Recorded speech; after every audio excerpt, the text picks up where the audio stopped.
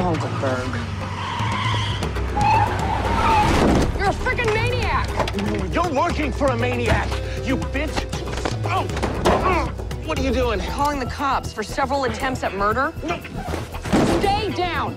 I don't know what he told you, but Artie Banks ruined my life. Shut up! I hired him to do a job.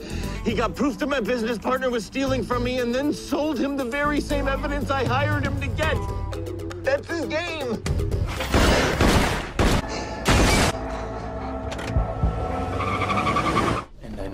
That he was an honor student, so we could always have.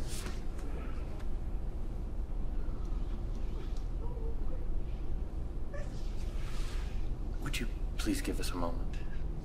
Thank you. Karen. Karen, you can't be here. How much will it take? It's not about the money, it's about what's right. Then tell me the right amount. Here. Uh, that's 7,000. And this will get you another three. I won't bury a killer on the same land as his victims.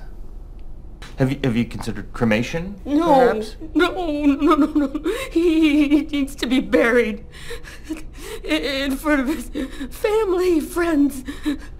He deserves a service. What about what those 12 children deserved? Can you name a single one of them?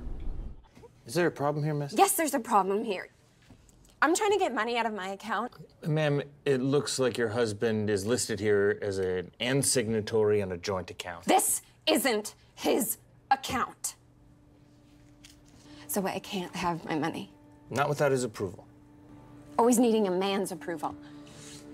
Kind of like you, Susan, needing to call your boss over here to get a, approval of a lousy $200. It's just our policy, ma'am. Yeah, well, fuck you and fuck your policy.